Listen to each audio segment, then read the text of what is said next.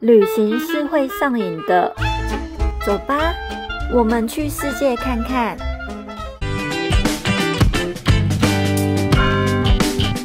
芒果这一家，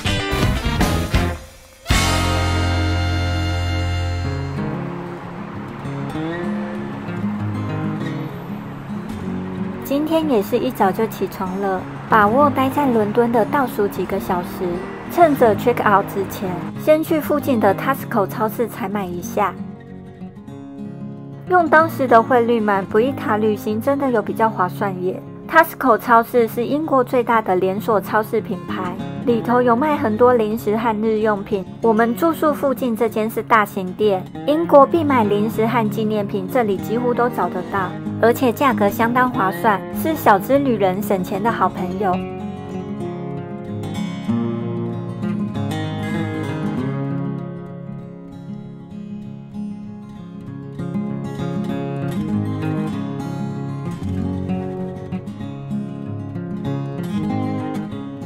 采买完毕，回去住宿打包行李，告别在伦敦四晚的住宿，一人能用八百多台币住在物价高昂的伦敦一晚，CP 值真的很高，替我们省了不少钱。只是寄放行李就要另外付费，还逛了一些小店家，里头没有开冷气，好难想象店员不觉得热吗？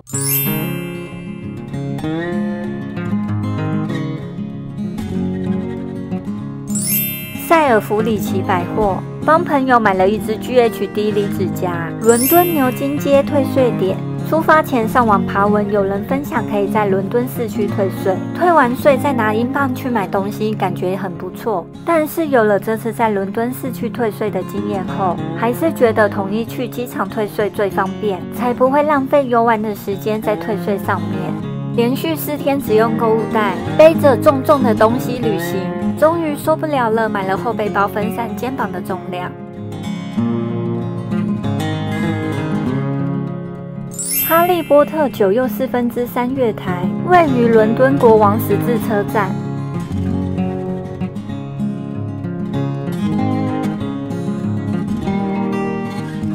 圣潘克拉斯火车站坐落在大英图书馆和国王十字车站之间。拜拜，伦敦！待会我们要坐下午三点三十一分的欧洲之星前往法国巴黎。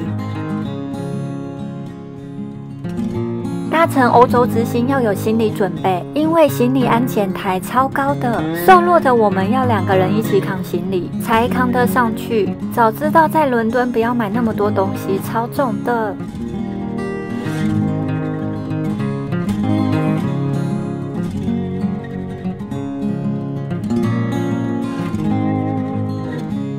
前往巴黎的欧洲之星是倒着开，容易晕车的，记得要先吃晕车药哦。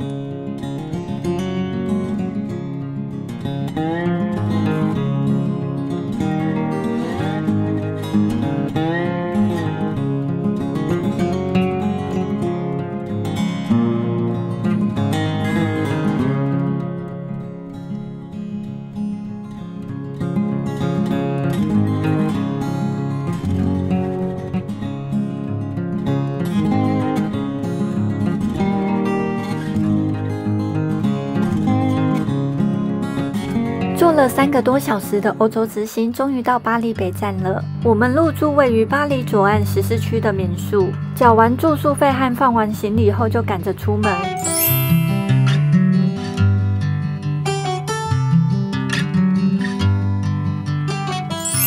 埃菲尔铁塔位于巴黎第七区塞纳河畔战神广场的铁质镂空塔，是为了纪念法国大革命一百周年。捍卫1889年巴黎世博会做准备的产物，虽然一开始建造颇受争议，但现在成为巴黎最具代表性的建筑。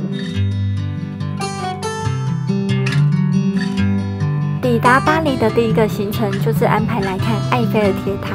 终于等到天空渐渐变暗了，亲眼看到巨大的埃菲尔铁塔闪烁着金黄色灯光，真的觉得好美好不可思议哦，内心一直澎湃不已。